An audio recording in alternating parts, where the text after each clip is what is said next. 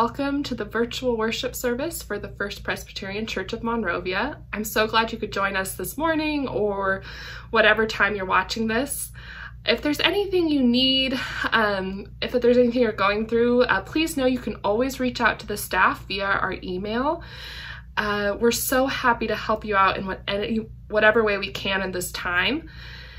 And I hope that this service will provide a moment of peace and comfort in this insane time, and that you would feel God's love and presence as you watch this. Good morning, friends. It's such an honor to be able to share the unison reading with you this morning, and I'd like to thank Pastor Doug for inviting me. Before we get started, I just want to tell you all how much I miss you how much I miss shaking your hands and giving hugs and trading little stories and jokes. And on behalf of the choir, I want to tell you how much we miss singing with you and for you every week and how much we love all of you. So now, if you'll join me from the book of Hebrews in our unison reading for this morning. In the past, God spoke to our ancestors through the prophets at many times and in various ways. But in these last days he has spoken to us by his Son, whom he appointed heir of all things, and through whom also he made the universe. The Son is the radiance of God's glory and the exact representation of his being, sustaining all things by his powerful word. After he had provided purification for sins, he sat down at the right hand of the majesty in heaven. And about the Son he says, Your throne, O God, will last forever and ever. A scepter of justice will be the scepter of your kingdom. You have loved righteousness and hated wickedness. Therefore, God, your God, has set you above your companions by anointing you with the oil of joy.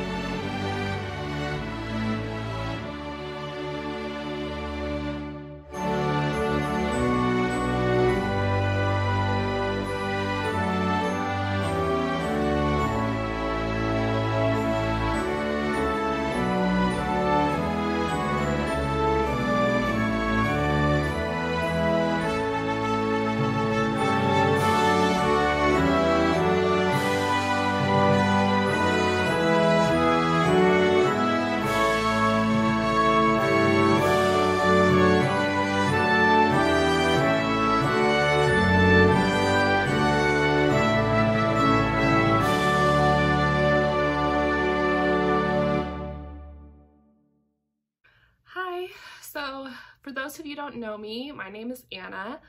Uh, I am the Minister of Youth here at First Presbyterian Church of Monrovia. So I serve our 6th through 12th graders.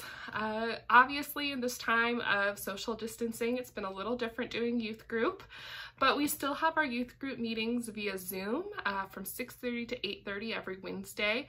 Uh, if you are not participating Zoom or if you know somebody who would be interested in having a weekly Zoom meeting with our youth group, uh, usually we do is we play some fun games like Pictionary together uh, and then do a short teaching and prayer. Um, if ways you can be praying for our youth ministry, um, so far I have been so impressed by the incredible resilience and kindness of our 6th through 12th graders.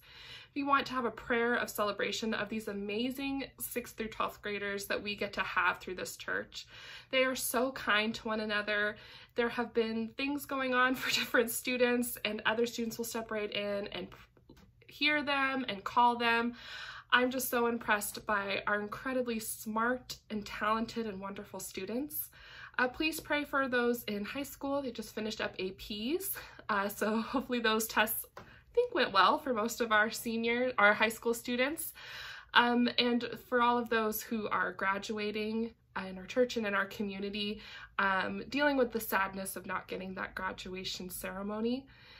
Um, and then also be praying that when we do get back together, um, there's so many great programs our youth or that I have dreams for our youth group that I would love to do. So hopefully um, there's an end to this whole coronavirus and we can actually do all the things I've dreamed of with our amazing students. So continue to pray for our 6th through 12th graders. They're a really amazing bunch of kids and I feel so lucky that I get pretty much my dream job just to hang out with them. Um, so be thinking of us uh, as you go about your week. Thank you. Good morning, church family. It's wonderful to be with you in worship today. On today, Ascension Sunday, as we remember uh, our risen Christ ascending into the heavens to be seated at the right hand of God the Father, um, I'm reminded of just how mysterious our Lord is. I mean, think about the miracle and the mystery of the risen body, physical body of Christ being lifted into the heavens. And um, there's a lot of questions that surround that. Uh, and yet, we have so much assurance through Scripture. We have so much assurance through the presence of the Holy Spirit with us that this did indeed happen and that the Lord is good and He's working in the midst of these mysteries that we read about in Scripture. And today, as I'm sure we're all facing various um, confusing uh, and mysterious circumstances in our quarantine situations, in our various um, situations of uh, separation from family and friends, our health and our medical concerns, uh, the anxiety that comes with this virus that we're all impacted by in various degrees, whether it's financially or um, you know just emotionally and mentally or physically. Uh, if we've known or experienced somebody to be impacted by the virus, um, then we're certainly very conscious of this. And and so in these very confusing times, it can be easy to wonder where is the Lord? What is He doing? Um, what what on earth possibly could be good that comes out of this? Um, and when we encounter these mysteries in our faith, such as the mystery of the ascension, it's so important to seek after the Lord, seek after what Scripture has to say about Him, and to seek after His will and His guidance in our life. So, as we turn to prayer, um, as we uh, enter into our prayers of the people section of our service, I'd encourage you to um, step into that mystery of whatever it is you're experiencing right now, trusting that the Lord is at work um, and seeking seeking His guidance. So, would you pray with me? God, I thank you that your scriptures assure us that you will never leave us nor forsake us. Lord, that you are good, you are merciful, you are our healer, you are our comforter, and you are provider.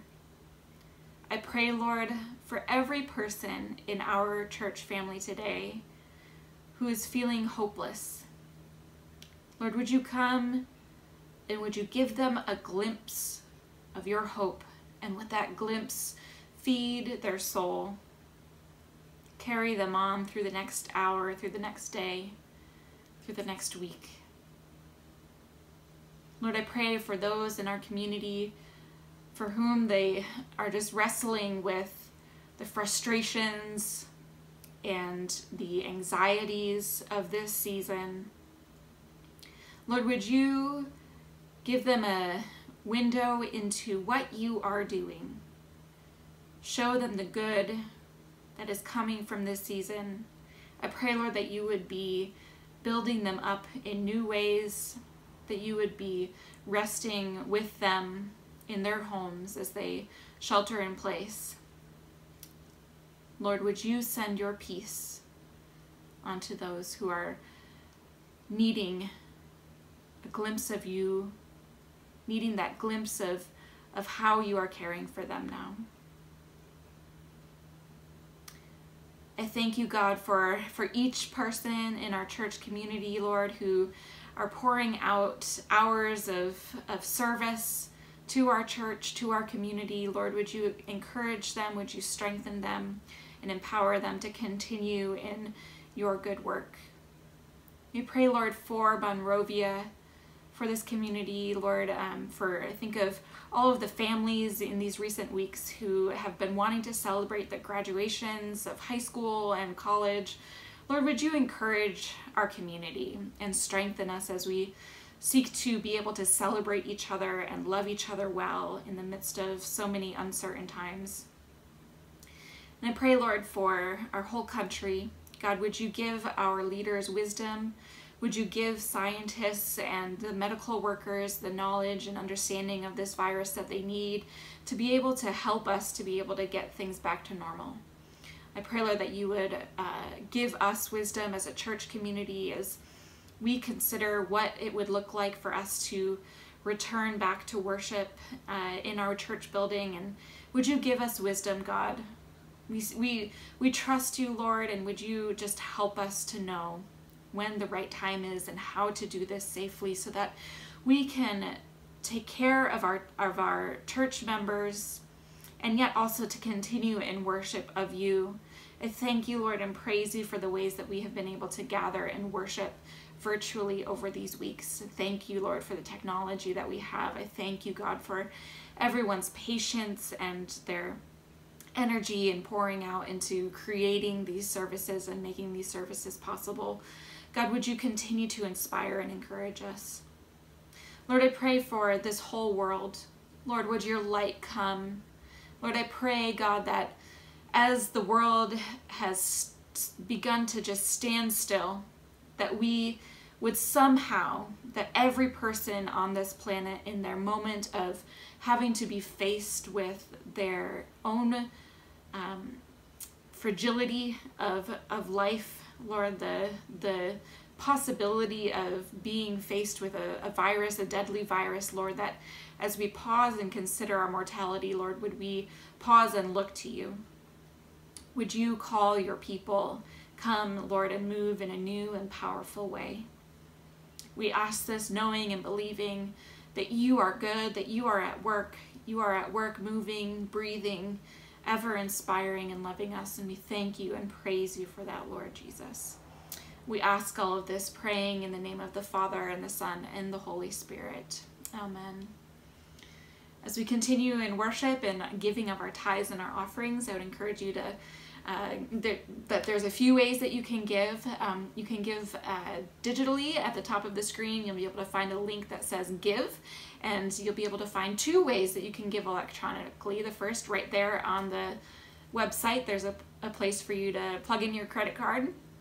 Um, you can also download the Tithely app, which I highly recommend. It's a great way to be consistent, stay consistent in your giving. Um, and it really is a simple tool, very simple tool. Uh, if you are used to using a cell phone, um, a smartphone, then it you know download that, and it, it's very user friendly uh, for for future use. You can also write a check and mail it to the church, or you can drop it off along the Myrtle, Seat, Myrtle Street entrance in the mail slot there. So thank you so much for giving faithfully and, and praying and um, I just pray for the Lord's blessing over this offering.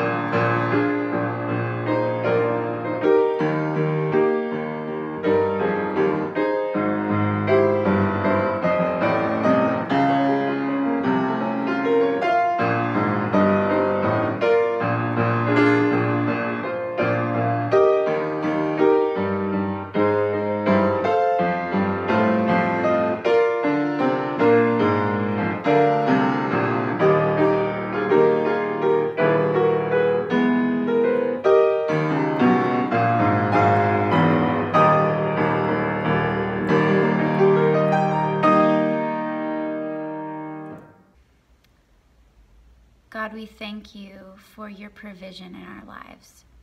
We thank you for every blessing that you've blessed us with under heaven. We thank you and we want to honor you with our giving, Father. We want to sow so that we may reap in the heavenly realm. Would you bless your tithes and offerings this morning? Would you use them however you see fit? We love you and we are grateful. In your name we pray. Amen.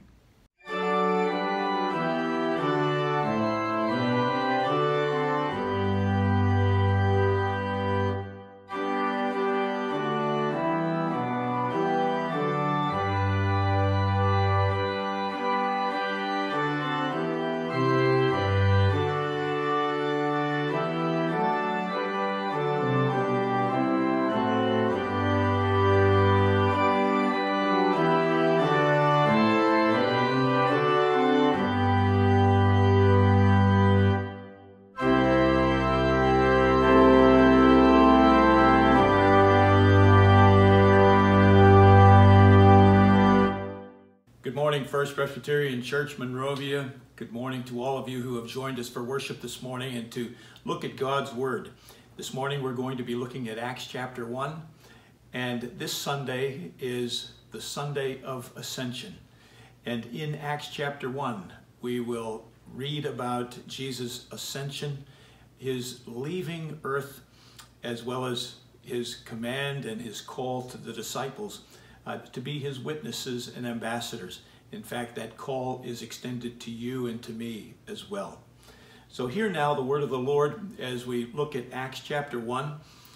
And Luke uh, is uh, believed to be the author here. And he begins by saying, In my former book, Theophilus, and in that former book, uh, Luke is referring to the Gospel of Luke, where he also addresses Theophilus. And it's significant because that name Theophilus uh, is a uh, from the Greek, and you, when you divide the theos and uh, the phileo, uh, is that uh, the, the name Theophilus means lover of God. And so in my former book, Lover of God, Theophilus, uh, I wrote about all that Jesus began to do and to teach until the day he was taken up to heaven. And after giving instructions through the Holy Spirit to the apostles uh, that he had chosen, he spoke to them about his suffering. He showed himself to these men and gave many convincing proofs that he was alive. He appeared to them over a period of 40 days and he spoke about the kingdom of God to them. Well, on one occasion, while he was eating with them, he gave them this command. And he said, Do not leave Jerusalem, but wait for the gift my Father promised, which you have heard me speak about. For John baptized with water, but in a few days you will be baptized with the Holy Spirit, Jesus said. So when they met together, they asked him, Lord, are you at this time going to restore the kingdom to Israel? He said to them, It is not for you to know the times or dates the Father has set by his own authority, but you will receive power when the Holy Spirit comes upon you, and you will be my witnesses in Jerusalem and in all Judea and Samaria and to the ends of the earth. After he said this, he was taken up before their very eyes, and a cloud hid him from their sight. And they were looking intently up into the sky as he was going. When suddenly two men dressed in white stood beside him. Men of Galilee, they said, why do you stand here looking into the sky? This same Jesus who has been taken from you into heaven will come back in the same way that you have seen him go into heaven. Then they returned to Jerusalem from the hill called the Mount of Olives, a Sabbath day walk from the city. This is the word of the Lord, and together we say, Thanks be to God. Well, as we look at this text, I want you to know that we first of all want to note that in Jesus' ascension, uh, we underscore the importance of the glorification of Jesus. We also recognize that not only was Jesus glorified, but also this was a point of coronation uh, for Jesus in his uh, ministry, uh, in the, the lordship uh, of Jesus as we refer to him and know him as King of Kings and Lord of Lords. Also, as we look at this particular passage, uh, we are reminded of the gift that Jesus is giving to his disciples. The ongoing gift, comforter, counselor, the ongoing presence of the Holy Spirit that will continue to be uh, and come alongside of the church to empower and as well as to equip. And then also there is in this passage and the importance of the ascension, the promise of the continuing intercessory ministry of Jesus on our behalf. And as we begin this, I first of all want to uh, underscore that uh, this also, in this glorification, there is a perhaps a, a looking back to just exactly where did Jesus come from? We're reminded uh, of the prophecies of the coming of the Son of Man, the coming of the Son of God into God's world. and we're reminded of uh, the words in Isaiah chapter 9 is that uh, the, the one who was coming uh, was wonderful counselor, mighty God, everlasting Father, and Prince of Peace. And of his kingdom there would be no end. And so, as Jesus is ascending to heaven, we are reminded of the prophecies that foretold the coming of Jesus Christ and of his eternal reign. Uh, and then, uh, as Jesus is ascending to heaven, we're kind of given a, a picture from Daniel chapter 7, it, uh, where in uh, Daniel, Daniel chapter 7, verse 13, uh, we read that in my vision at night I looked, and there before me was one like a son of man, coming with the clouds of heaven. He approached the Ancient of Days and was led into his presence. He was given authority, glory, and sovereign power. All nations and peoples of every language worshipped him. His dominion is an everlasting dominion that will not pass away, and his kingdom is one that will never be destroyed. Fascinating how Daniel, Daniel, uh, as well as the prophets, as they foretold and foresaw uh, the coming of the Son of Man, of the Christ, of the Messiah, uh, and they talked about the, the uh, eternal kingdom uh, that he oversaw. Uh, and in Daniel, about his rising and being given authority and glory and sovereign power over all of the nations from uh, every language, uh, and that his dominion is an everlasting dominion. And interestingly, we hear in the Apostle Paul as well in Philippians chapter 2 is that one day every knee shall bow and tongue will confess uh, to the glory of God that Jesus Christ uh, is Lord. And so, this declaration uh, on this Ascension Sunday, on the Ascension, after this 40 days of ministry, Jesus is being received and is being glorified uh, in his, in a sense, his return. Uh, in the shroud of this, what is referred to as the Shekinah uh, glory, the glory of God and he was going to be received and returned uh, from where he came uh, at the right hand of God the Father Almighty. So the ascension was a glorious thing. And that is why after he ascended, the disciples went back into Jerusalem. And when they went back into Jerusalem, uh, instead of being sorrowful and sad, they knew this was a time of glorification uh, Jesus had explained to them the importance of his departure uh, and that his return meant a, greater engagement uh, for his disciples uh, and that there was a new time and a new day that would begin.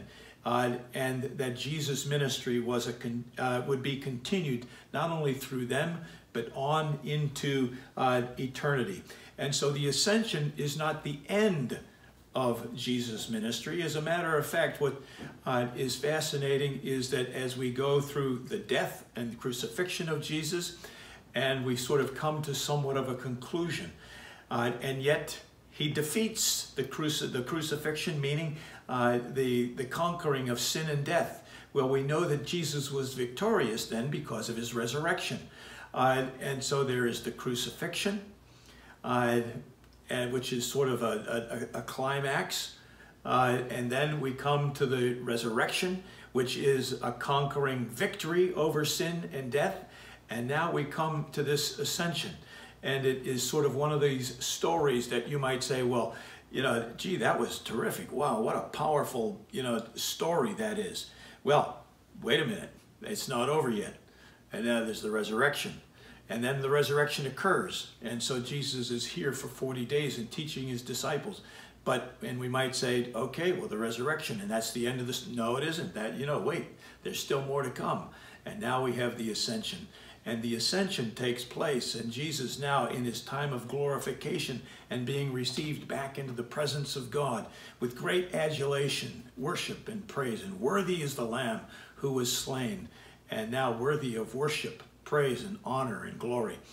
Uh, and so we might say, well, okay, it, it's over. Jesus' mission is accomplished. Ah, no, no, wait, there's one more thing coming.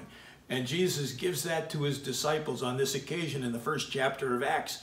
And he says, Don't leave Jerusalem, but wait for the gift my Father promised, which you have heard me speak about.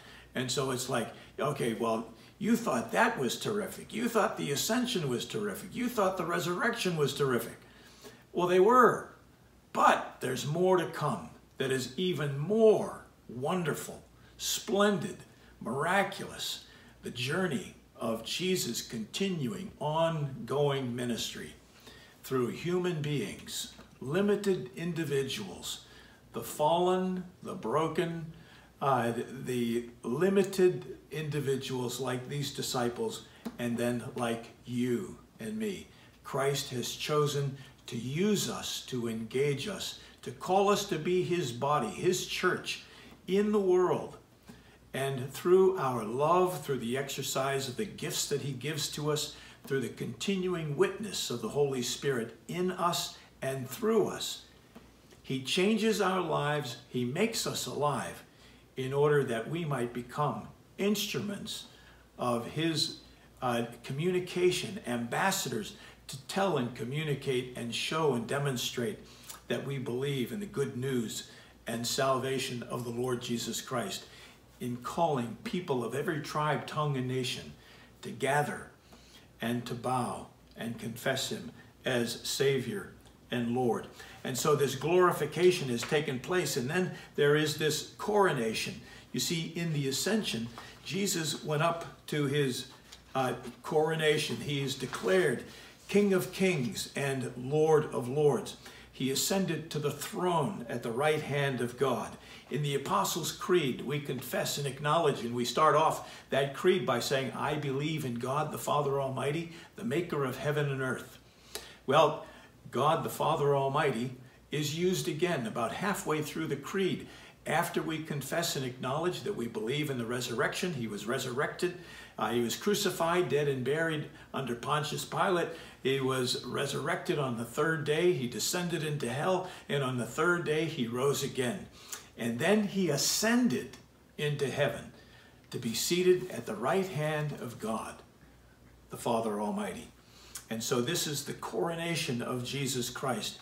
He is declared and recognized and given, as we see at the end of Matthew, uh, the words of Jesus to his disciples uh, as he commissions them and gives them that great commission. He says, All power and authority have been given to me in heaven and over earth. And he said, And my command to you is to go and make disciples and teaching every nation all that I have instructed you and baptize them in the name of the Father, Son, and Holy Spirit. And so the Lamb who was slain has become now the Lion of Judah, who now reigns over the earth, King of kings and Lord of lords. And so of his rule and his reign, there is no end. And so as we look forward to Pentecost and the birth of the church, we are reminded of Jesus' words. You remember when Peter, in uh, during Jesus' ministry, uh, Jesus says to the disciples, you know, who do men say that I am? And, you know, and, and at that point, uh, Peter confesses, he said, well, you are the, uh, uh, you are the son of the living God. And Jesus then says, well, upon this rock I will build my church. And he said, the gates of hell will not prevail against me. And so as Jesus is ascended and he receives his coronation uh, and is given authority over all of heaven and earth, it is also a declaration is that the ministry that the disciples will undertake, the ministry that we continue as the body of Christ in the world today, will never be defeated. There is Jesus' victory and triumph. Now, we are not a triumphalist organization. We know the victory is with Jesus, but in our triumphalism, you know, we do with humility. We go about and we are involved and engaged, uh, in a sense, in the work of seeking to eradicate and eliminate uh, the darkness. So, in other words, everything that we do on here on earth is extremely important. You know, Jesus didn't rise to, to the heavens and become and, and declared King of Kings and Lord of Lords to mean that life here on earth is no longer uh, meaningless uh, or that our involvement here on earth uh, is just a work in vain, uh, but indeed what Jesus is seeking to do and where he is Lord and authority is over the heavens and the earth. He is seeking to bring the kingdom of heaven here to earth. And one day, as we look again at the end, the future uh, result of the coronation and the declaration and ascension of Jesus to the right hand of the Father, is that the kingdom will be established here on earth. There will be a new Jerusalem, a new heaven, and a new earth. And so the earth and heaven uh, will be, in a sense, uh, locked uh, together uh, and joined together in a perfection and a beauty that only God can bring about and accomplish. And so then that brings us to our third point is the gift of the counselor, the gift of the Holy Spirit. And so one of the interesting things that uh, I feel like is being said and taught here by Jesus is he says to the disciples, he says, don't leave Jerusalem, but wait for the gift uh, that uh, I promised you, that God promised, and that you heard me speak about. Uh, in other words, he's saying to me, he's saying to the disciples, he said, don't go out and try to continue this journey on your own in, in, in your own strength. He said, but remember uh, that you have limitations. You need God's power and strength to be able to speak and use you uh, and minister through you. And so for you and for me, the temptation, our human arrogance, our ego that is edging God out, uh, we, we tend to want to do things perhaps in our own way and establish and set up our own agendas. I'm reminded by a, a, a statement made by uh, in a movie uh, that uh, indicates that a man has got to know his limitations. Uh, and so I've borrowed that line from a Clint Eastwood movie is that uh, as uh, he was a police detective and he was confronting and uh, seeking to bring bad guys uh, into line. And so he says to this one bad guy, he says, a man's got to know his limitations. Well, Jesus is saying to the disciples and to you and me as well as we've got to know our limitations. You know, we need the coming power of the Holy Spirit. And so we need to wait. Wait upon the Lord. And when we wait upon the Lord, He will renew our strength and use utilize us uh, as the instruments and uh, in His ministry of reconciliation to the world. We need to become new creations through Jesus Christ our Lord. And so what do the disciples do? They want to begin to talk uh, to Jesus about uh, the arrival of and the restoration of the kingdom of Israel. They're still looking towards human power. They're still looking for human and earth domination. Uh, they're looking for Israel to be lifted up and called and established as the greatest. Well, Jesus is saying to them, no, no, no, no. You, you leave that to God the Father. It's not for uh, you to know the times or the seasons, uh, but we've got other work to do. And that work is for you to be my disciples and my witnesses uh, those who are going to go to the ends of the earth, to the next door locations, to our neighbors, to our friends, our circle of people that we are in relationship with. It also means that we go to neighboring countries and to neighbor, neighboring areas geographically, and we go to Samaria, to places where we really don't feel comfortable going, places that we would rather not go to. Uh, but we are to go there as well. We are to go everywhere to proclaim and declare and show and demonstrate the love of Jesus Christ to the ends of the earth, Jesus said. And after this, he was taken up before their very eyes. Well, the gift of the Holy Spirit comes to us so that we might be the body of Christ in the world.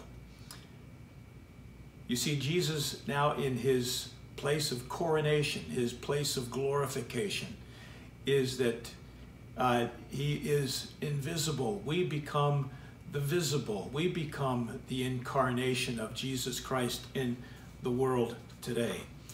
And That does not mean that we are deified in any way, shape, or form.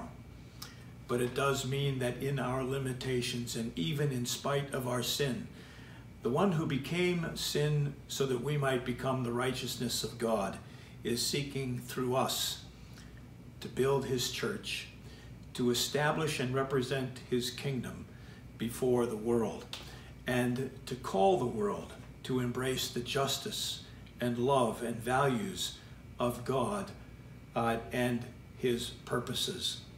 And then finally, there is the ministry, the ongoing intercession of Jesus, the ministry of the high priest. You see, Jesus is our high priest. He is prophet, priest, and king. As prophet, he came to speak the word of God, the truth of God uh, to us and to call us to repentance. Uh, just as John the Baptist, uh, the greatest of all prophets, Jesus said, uh, who was speaking a word of repentance, calling people to uh, set aside uh, their self-centeredness, their self-absorption. And so Jesus now, as the high priest, uh, is coming again to be a, a, a bridge, an intercessor, a mediator for us. And so as Jesus, as our high priest, he offers his own sacrifice. He is the lamb. The high priest would bring uh, the, the, the, unblemished lamb. Uh, but Jesus, as our high priest, he is the lamb and he presents himself as the perfect sacrifice and dies on the cross uh, and sheds his own blood. And so he is not only our priest and he intercedes for us, uh, and by faith in him, Jesus pleads our case. And so by his sacrifice, his dying in our stead and in he as our substitute, uh, he brings to us our justification. So in Christ we are declared not guilty because we are seen in his righteousness. And so as we recall in First John, we re remember and hear the statement is that when we confess our sin, he is faithful and just and he forgives us our sin and he cleanses us from all unrighteousness. This is the work of the priest, the priesthood, the ministry of the great high priest who is Jesus Christ, the righteous. And in uh, the book of Hebrews, we read a lot about Jesus being uh, the high priest. And in Hebrews chapter 7, we have Jesus lives forever, and because he lives forever, he has a permanent priesthood. Therefore, he is able to save completely those who come to God through him, because Jesus always lives to intercede for them. Also, a part of this intercession is the ministry of prayer. And so Jesus is praying for us. So when we ask that question, well, gee whiz, I wonder what Jesus is up to now. Well, he's not only ruling and having authority over the heavens and the earth, and he's not only sending and writing an executive order, you know, to send the Holy Spirit uh, into our world and to come alongside and partner with us uh, in ministry, but he is also praying for us. It's interesting in Romans chapter 8, we find that even before we know how to pray, even before we know what to pray for, the Holy Spirit, through Jesus Christ, by the grace of God, is already praying uh, for what we need and praying the prayers that we even don't know that we should be praying. And so Christ is always going before us. And so whenever you hear me say about Christ is above us, he is beneath us, and he is out in front of us, he is behind us, he is on the right and on the left. That is Christ's intercession for you and for me as our great high priest. Also in Hebrews chapter 4, as Jesus, the great high priest, he is one who is able to understand our human condition, understand our human experiences. And so it says we have a great high priest who has ascended into heaven. He is Jesus, the Son of God, it says. And he says, let us hold firmly to the faith we profess. For we do not have a high priest who is unable, but who is able to empathize, sympathize with our weaknesses. For he was tempted in every way, just as we are, and yet he did not sin. So, as a result of Jesus as our great high priest, then we can approach God's throne with confidence so that we may receive mercy and find grace in our time of need. And we know as a human race that even especially through this time of pandemic uh, and in the years, the decades, the centuries previous, and even the ones that we face, that there are difficulties, there are challenges, there are darknesses that we must face and that we must battle against. We cannot do it in and of our own strength, but we wait and we travel with and follow the leading of and in the power of the Holy Spirit to accomplish the will of God. I love the words of uh, N.T. Wright in uh, one of his quotes as he speaks of us uh, and he speaks of the importance of the ascension and he indicates that we are called not to be a fearful or muddled group, but he, Jesus Christ has come alongside of us and he oversees us as our King and King and Lord of Lords. And he is desirous in and through us to bear a clear and uncompromised witness to Jesus Christ, risen, ascended, glorified, and ruling over the heavens and the earth. And we are declared to declare this life and lordship of Jesus over which he rules. And we are to do this with acts of love, kindness, and courage. As we think of the history of the church, the method of the kingdom is supposed to match the message of the kingdom, says N.T. Wright. The kingdom will come as the church, energized by the Holy Spirit, goes out into the world, vulnerable, suffering, praising, praying, perhaps misunderstood, misjudged, but yet celebrating the fact that Jesus is King of Kings and Lord of Lords.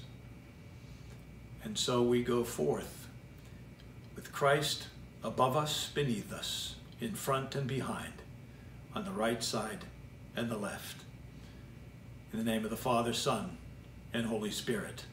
Amen.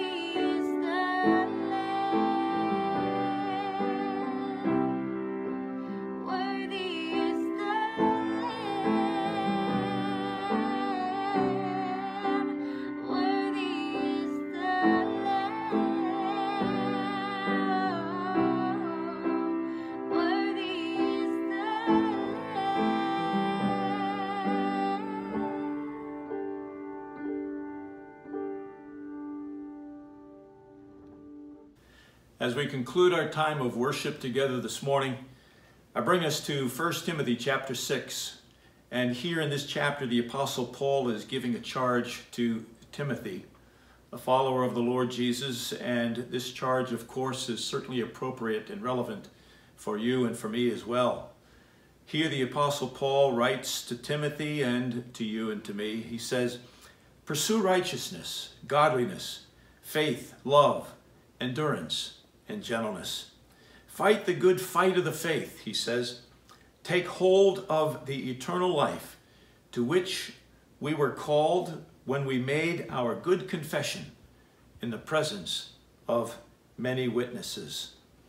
And remember, keep this command without spot or blame until the appearing of our Lord Jesus Christ, which God will bring about in his own time. God the blessed and only ruler, the King of kings and the Lord of lords, who alone is immortal and who lives in unapproachable light, whom no one has ever seen or can see. To him be honor and might forever. In the name of the Father, the Son, and Holy Spirit. Amen.